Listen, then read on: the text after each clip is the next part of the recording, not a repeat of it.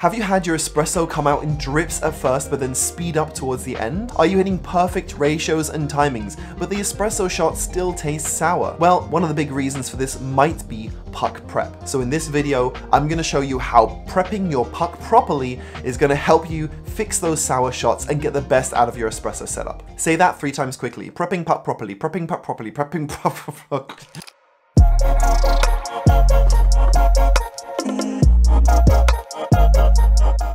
So first, and this is optional, is to get a bottomless portafilter if you can. This makes it much easier to see what's going on with your espresso puck than if you're using a spouted portafilter. There are manufacturer specific options and also third party ones, but make sure you buy one that fits your machine specifically. You don't want to damage the inside of your group head. I almost always use mine to see much more of what's going on during extraction. Next step, I usually recommend a light mist spray of water on your coffee beans before you put them in your grinder. This is called the Ross droplet technique or RD and it helps to reduce clumping which is caused by static, which is especially useful on high RPM or flat burr grinders. Now once you have your coffee grinds in your portafilter, you're going to use the Weiss distribution technique, or WDT. I know, RDT, WDT, don't worry about the names, you don't have to know that. This is just a little tool with some needles that will help you break up big boulders and improve distribution in your portafilter. There are some fancy ones that I'm sure do a very good job, but you don't have to go out and buy something expensive. This is one of the cheapest upgrades you can do. Just use a cork and a few sewing needles. My third step is a distribution tool like this one. I like using one of these to flatten the bed before tamping, and while I don't have any conclusive evidence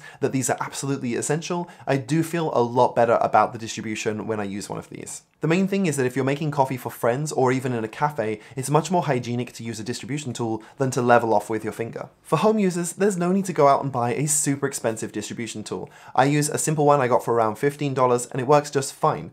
I'll leave links to everything I talk about in this video in the doobly what's it. Finally, you want a good tamper that fits well. Make sure it's flush to the sides. Measure the exact diameter of your portafilter and get a tamper that fits precisely. If you leave even a millimeter ring around the outside, you'll create a less compressed area that the water can more easily channel through. The conventional wisdom is to use around 30 pounds of pressure, which you can figure out by putting your portafilter on a house scale and tamping down a few times so you can know what that feels like. I've seen some people in cafes putting their whole weight into the tamp you don't need to do that. There are also tamps with a pressure limiter that click when you tamp down with it, but these tend to be much more expensive than the simple metal one I have. These are helpful, but definitely not essential, as it is good to learn how much pressure you're tamping with. I also want to mention puck screens here. I know it's espresso and we have expensive equipment, but 25 to $50 for a small mesh ring seems pretty excessive to me. And if I'm gonna put my foot down somewhere, it might as well be here.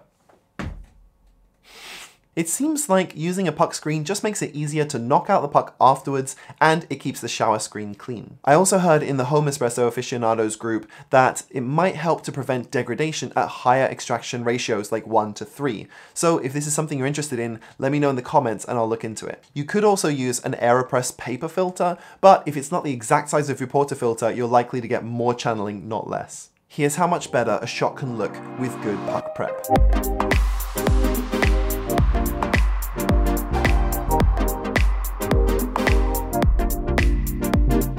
Few important things to note. Number one, don't change your dose as a proxy for grind size or good puck prep. A very dense coffee might have a lower volume after grinding, and so you'll end up with a shallow bed. In that case, you might want to dose more, grind a little bit coarser, but still end up with that 1 to 2 ratio espresso. So if you raise your dose from 18 to 20 grams, you should also raise your extracted weight out from 36 to 40. Anyway, I'm sure I'm going to need to update this video next month when the Charlie distribution technique, or CDT, starts to catch on.